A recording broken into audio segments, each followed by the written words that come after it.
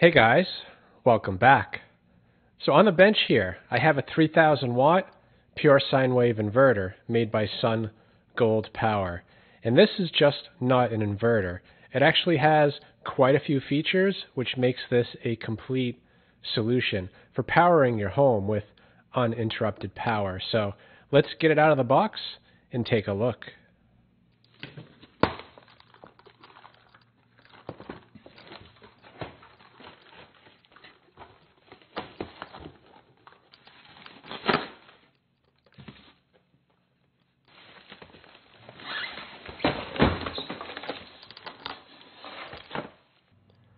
First impression is that this is a substantial piece of equipment. It weighs in at about 50 pounds. And that's due to this right here. This is a low frequency inverter, which means instead of being driven by MOSFETs, it's being driven by large transformers. And that has several benefits. I guess first is reliability. You know, MOSFETs tend to break down under strain. Uh, also, this type of setup can surge up to 300% of its rated load. So this can surge up to 9,000 watts, whereas the equivalent one driven by MOSFETs usually is limited to about 200% surge capability. So in the intro, I alluded to the fact that this is not your typical inverter, and part of that has to do with the low frequency function, but you know, most basic inverters, all they do is take DC in and spit AC out, and that is it. End of story. Well, this one definitely takes it to the next level. You can wire this either to the grid or a generator, and it'll take that AC power and do two things. It'll charge and maintain your battery bank, and it will also pass that power downstream to anything you have connected to this inverter. And after a period of time, when your battery bank runs low, if AC power hasn't been restored, the beauty of this is that this can call out to your generator. And if you have a generator properly connected and the ability to remote start, then that generator will start feeding this unit again with AC power. It'll top off your battery bank and continue supplying power to anything you have connected to it. And as if all that wasn't enough, this also has an auto transformer. So if you start getting power that is not at 120 volts, say it's coming in at 100 volts or overvoltage at 130 volts, it can step the AC power up or down to get it closer to 120 volts. And that'll prevent this unit from failing over to your battery bank. But ultimately, if the power is too far out of spec, then it will make that decision and fail over to your battery bank. So here's a look at the front of the unit. There's a bunch of status lights and an LED display to let you know what's going on. This here is the power switch. In the middle position, the unit is off.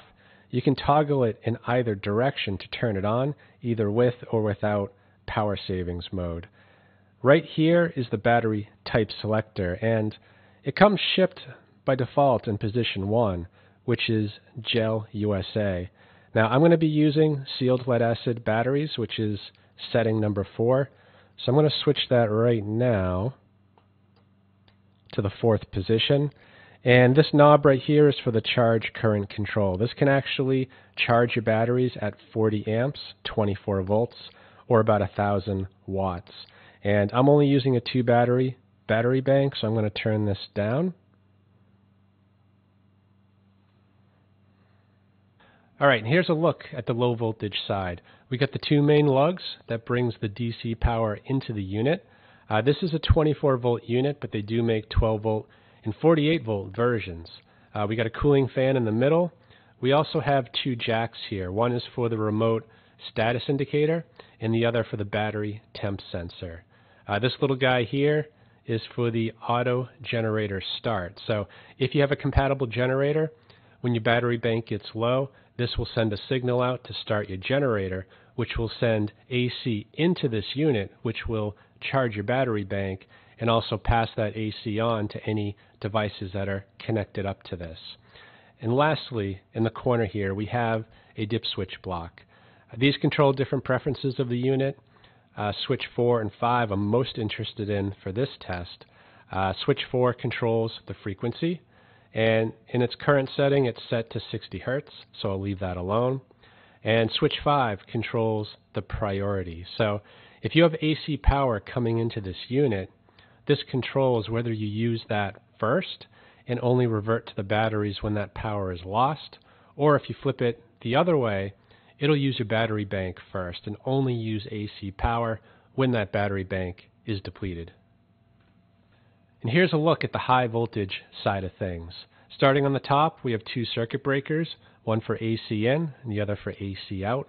In the middle, we have a standard 20 amp GFCI protected outlet. And here on the bottom, that's where the hardwired connections are. The first three terminals is for AC in, and the other three is for AC out. Now, I'm not going to be using these today, but you would use this if you wanted to wire this to a sub panel. Anyway, I'm going to reinstall this protective plate. I'm going to wire this thing up fully, and I'll turn you back on in a second for the power up. All right, pretty much ready to go. I've got everything connected on the AC side. And on the DC side, I have the wires connected to the inverter and one of them connected to the battery bank. Uh, for the batteries, I'm using two deep cycle batteries. They are connected in series. And all I have left is this one connection here, which connects right there. But I don't want to just connect it because there's several large capacitors in here, and they're going to charge up instantaneously, producing a large spark and potentially welding that wire to the battery post. So instead, I'm going to use this 12 volt light bulb. We'll connect it through one of the 12 volt batteries, we'll start by charging the capacitor to 12 volts, and then we'll switch it over to the 24 volts to charge it the rest of the way.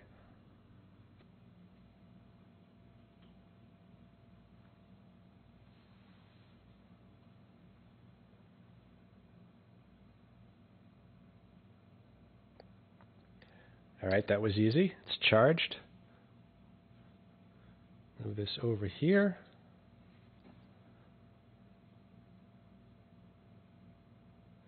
And that's it. So it should be safe. Let's see. Yep. That worked better than I thought. All right, let's give this thing a try. Right now we're on battery power only. So the unit just powered up. 119.9 volts, 59.9 hertz. And here's a look at the sine wave. Looks nice and clean. Uh, the status lights here, you can see this light lit up, which indicates we're powered by the inverter right now. So I'm going to plug in now to grid power. Let's see what happens. All right, grid power is connected. Uh, there is a delay built into this, so right now we're still running on battery power, and that's indicated by this light right here. When we switch to grid power, You'll see the shore power light light up as well as the battery charge light, which just happened. So now we're on grid power, still at 60 hertz, 119.1 volts. So the voltage dropped a little on the grid. And actually, the grid power doesn't look as clean. If you look at the peaks, there's a little ripple on all of them. So, yeah, this seems to produce cleaner power. Anyway, let's break out a space heater. We'll try a resistive load and see how this thing does. Alright, a few things have been added to the mix. I've got the space heater hooked up. I've also added an amp clamp to the battery bank so we can see what we're pulling. And also added a multimeter to the battery bank so we can see the voltage. Uh, we're currently at 27.23 volts. So let's give this space heater a try.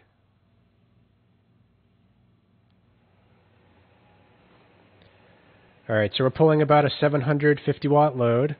Battery bank is at 26 volts and dropping. Uh, the sine wave looks good.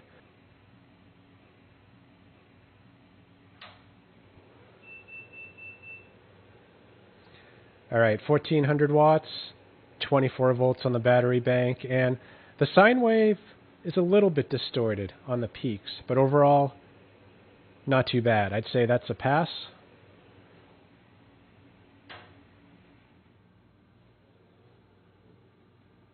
All right, for the next test, we're going to try the microwave. This is a heavy inductive load. There's a big surge associated with it. So I'm going to do the right thing and put a meal that requires about seven minutes in there to cook. It's dinner time and I'm hungry and I want my favorite meal. So I have no doubt the inverter can do it. My battery bank, on the other hand, I think that's the wild card. This inverter will keep pulling from the batteries until we get to 20 volts, in which point it'll shut down. So right now we're on grid power. I'm going to disconnect that and then throw this in the microwave.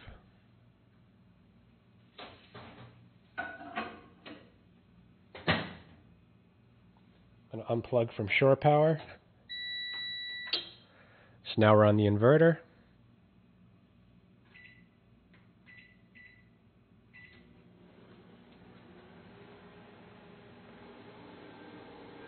Okay, so far so good.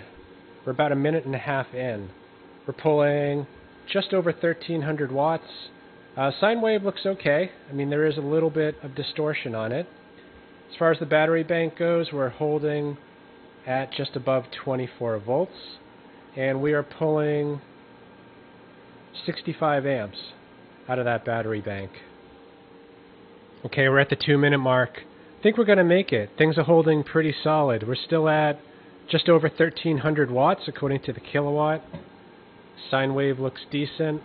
Uh, the battery bank is holding solid at 24.3 volts, and we're pulling 63 amps out of that battery bank. The cables are cool, and so are the batteries.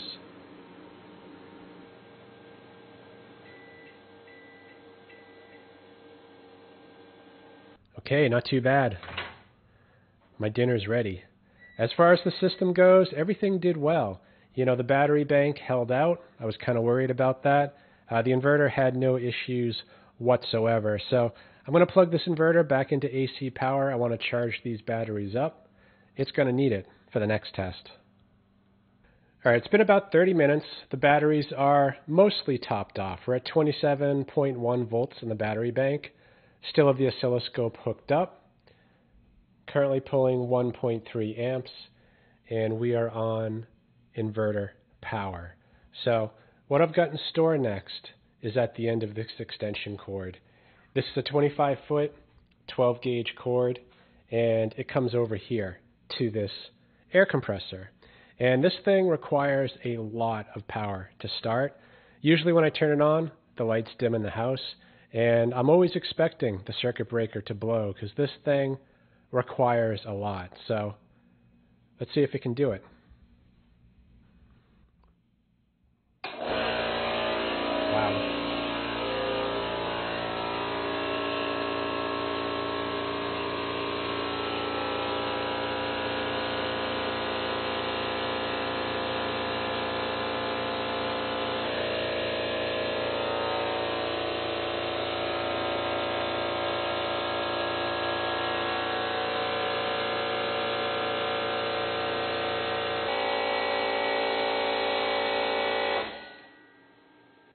Okay, that actually works better on the inverter than it does on grid power. So that is definitely a pass. Had no issues there. Uh, the batteries held out just fine, and of course, the inverter did a good job. So we got a pass across the board. Uh, next, I am going to test using this Variac. I'm going to hook this up to the input of this inverter. And what this does is I can decrease the voltage to below 120 volts all the way down to zero or I can overvoltage it up to about 135 volts. So what I want to do is mess with the input voltage and see that this auto transformer kicks in and tries to correct the problem. Okay, so I've got the Variac connected now to the inverter. Both meters are set to measure voltage. The one on the left is measuring the voltage output from the inverter. The one on the right is the output from the Variac. Now, I don't know for sure actually that this has an auto transformer. It is listed as an optional feature. So we'll find out in a second because I'm going to drop this voltage to 100 volts. And if it has an auto transformer, this voltage should get stepped up to 120 volts. And Yeah, it doesn't look like that's happening. So I don't think this one has the auto transformer. But if I keep going, the batteries should kick in. And there we go. So the inverter is on battery power. It's at 122 volts, whereas the Variac is only putting out 96 volts. So let's bring this back up to 120 volts. And it takes a second. The inverter doesn't cut over right away. It wants to make sure that the utility power is stable.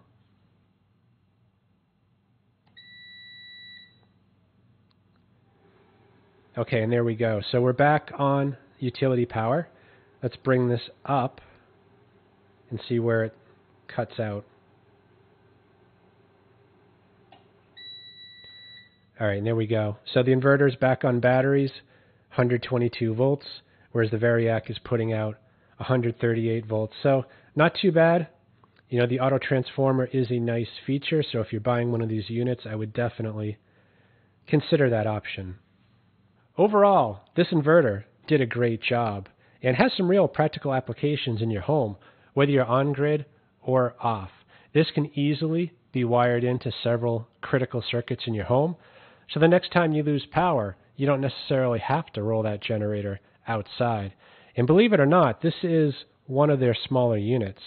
Their largest unit puts out 18,000 continuous watts and can surge up to 54,000 watts. And this one is only a 120 volt model, but they do offer 120 volt and 240 volt outputs. So I'd like to thank Sunny from SunGold Power for giving me a chance to review this inverter. And if you want to find out more about it, I'll leave some links in the description below. So I hope this video helps someone. Thanks for watching.